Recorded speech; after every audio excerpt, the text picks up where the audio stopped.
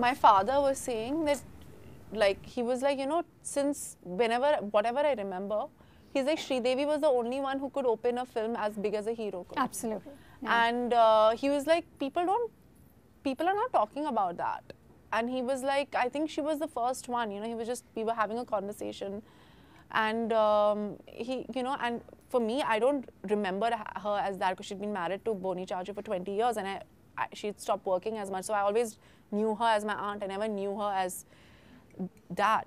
But it, it's true. I mean, even the films that she did, they were. She was called the female Amitabh Bachchan. Bachchan. Mm-hmm. Yeah, yeah. I mean, why should she call the female anything? She was Sridevi. Of course, but at that time, Time that it was, the, big biggest. thi- biggest thing. And I'm just like,